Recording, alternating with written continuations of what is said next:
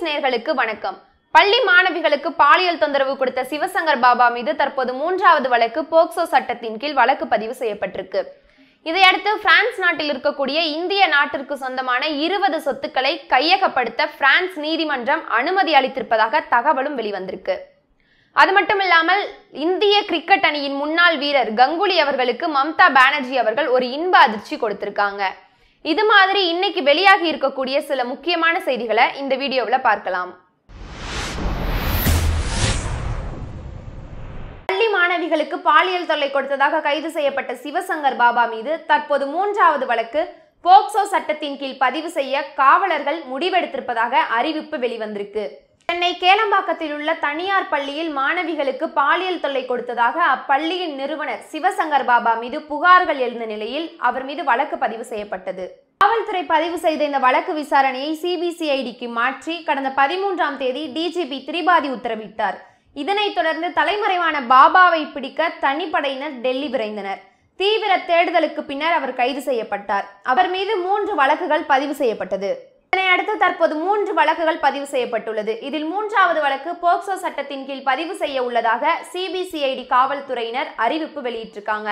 இதில் ஏற்கனவே இருக்கக்கூடிய இரண்டு வழக்குகளும் போக்சோ சட்டத்தின் கீழ் வழக்கு பதிவு செய்யப்பட்டுள்ளது என்பது குறிப்பிடத்தக்கது.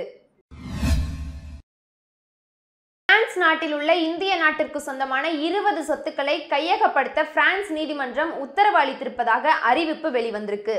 இதனைத் தொடர்ந்து அந்த நிறுவனம் இருபது மில்லியன் பிரிட்டன் பவுண்ட் மதிப்புள்ள இந்திய அரசின் சொத்துக்களை கையகப்படுத்தியுள்ளதாக தெரிவித்துள்ளது. ஸ்பெயின் நிறுவனம் இரண்டாயிரத்தி ஆறு முதல் இரண்டாயிரத்தி ஏழாம் நிதியாண்டில் தமது இந்திய சொத்துக்களை மறுசீரமைப்பு செய்தபோது அந்த நிறுவனம் ரூபாய் பத்தாயிரத்தி இருநூத்தி நாற்பத்தி ஏழு கோடி வரி செலுத்த வேண்டும் என்று இந்திய அரசு கணக்கிட்டு கூறியது.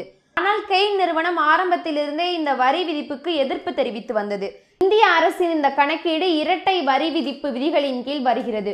ஒரு ஆதாயத்துக்கு இரண்டு வரிகள் விதிக்கப்படக்கூடாது என்று இதற்கு தடை கோரியது. ஆனால் இந்திய அரசு தடை விதிக்க மறுத்துவிட்டது. அதன் தொடர்ச்சியாக கெயின் நிறுவனத்துக்கு இந்தியாவில் உள்ள சொத்துக்களை விற்றும் அந்த நிறுவனத்துக்கு திருப்பி தர வேண்டிய வரித்தொகையை நிறுத்தி வைத்தும் இந்த வரித்தொகையை இந்திய அரசு அந்த நிறுவனத்திடமிருந்தே வசூலித்து விட்டது. இந்திய அரசு அவ்வாறு செய்தது தவறு என்று கூறி சர்வதேச நடுவர் தீர்ப்பாயத்தில் அந்த நிறுவனம் மேல்முறையீடு செய்தது. அந்த முறையீட்டிற்கான தீர்ப்பு கடந்த டிசம்பர் மாதம் இருபதாம் தேதி வெளிவந்தது. தி ஹேக் நகரில் உள்ள மூன்று நீதிபதிகளை கொண்ட நடுவர் மன்றம் தமது தீர்ப்பை வழங்கியது. இதில் இந்திய அரசு வரி விதித்தது இந்திய ஐக்கிய ராஜ்யம் நாடுகளுக்கான இரு நாட்டு ஒப்பந்தத்தின்படி தவறு என்று கூறி வட்டி மற்றும் நீதிமன்ற செலவுகளையும் சேர்த்து இந்திய அரசு கெயின் நிறுவனத்திற்கு ஒன்று புள்ளி நாலு பில்லியன் டாலர் வழங்க வேண்டும் என்று ஆணையிடப்பட்டது. இதை எதிர்த்து இந்தியா மேல்முறையீடு செய்துள்ளது. இந்த காலதாமதத்தை எதிர்த்தும் நிறுவனம் சார்பில் இந்திய அரசுக்கு எதிராக வழக்கு தொடரப்பட்டுள்ளது. இதில் முக்கியமான திருப்பமாக இந்திய அரசின் சொத்துக்கள் கைப்பற்றப்பட்டுள்ளதாக கெயின் நிறுவனம் தெரிவித்துள்ளது. இந்த பிரச்சனை பற்றி கருத்து தெரிவித்துள்ள தமது நாட்டு அமைச்சகம் இந்த வழக்கு மேல்முறையீடு செய்யப்பட்டுள்ளது என்று தெரிவித்துள்ளது. இந்திய சொத்துக்களை கையகப்படுத்தியது பற்றி முழு தகவல்கள் இன்னும் தமக்கு கிடைக்கவில்லை. இந்த பிரச்சனையை சட்ட ரீதியாக எதிர்கொள்ள இருப்பதாகவும் அந்த அமைச்சகம் தரப்பில் தெரிவிக்கப்பட்டுள்ளது. இந்த பிரச்சனையில் இந்திய அரசு என்ன நடவடிக்கை எடுக்க போகிறது என்பதை பொருளாதார வல்லுநர்களையும் உலக நாடுகளையும் உற்று நோக்க வைக்கிறது. இந்த கெயின் நிறுவனம் பெற்றிருக்கக்கூடிய மிகப்பெரிய வெற்றியானது பல கார்ப்பரேட் கம்பெனிகளின் சட்டத்தில் உள்ள ஓட்டைகளை பயன்படுத்தி வரி மோசடி செய்ய உதவும் அப்படின்னு தெரிவிக்கப்பட்டிருக்கு.